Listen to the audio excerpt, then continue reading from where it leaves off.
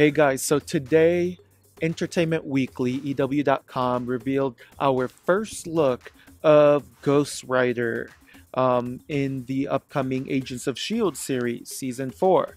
Uh, by the, of course, if you guys know, um, Ghost Rider is originally um, was originally played by Nicolas Cage in the movies version, uh, Ghost Rider and Ghost Rider Spirit of Vengeance. However, in this version, they are using a different Ghost Rider, and um, his name is Roberto Robbie Reyes. And yes, he's from the more recent incarnation of the Ghost Rider series, and pretty much he's going to play kind of a big role in this coming Agents of S.H.I.E.L.D.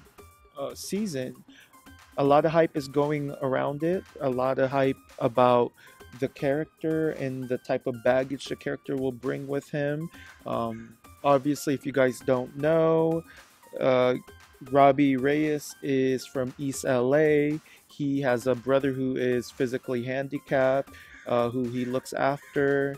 And I think this is going to be a pretty awesome storyline to play. Now, I just don't know how it's going to play or how it's going to work with someone like Daisy, I mean, obviously from set photos and set videos we've seen, Daisy is hanging onto um, Robbie Reyes's sports car, or like not sports car, but like his El Camino, I think.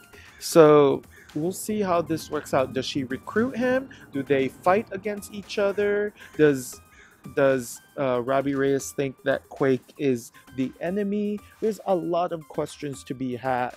Now, how he plays in the role, if he's going to end up being a pretty much a good guy or side with Daisy, we don't know yet. However, I think it's really important that you guys tune in to season four of Agents of S.H.I.E.L.D. because you just might get what you wanted, which is action, drama, excitement, thrill, surprise, all of that.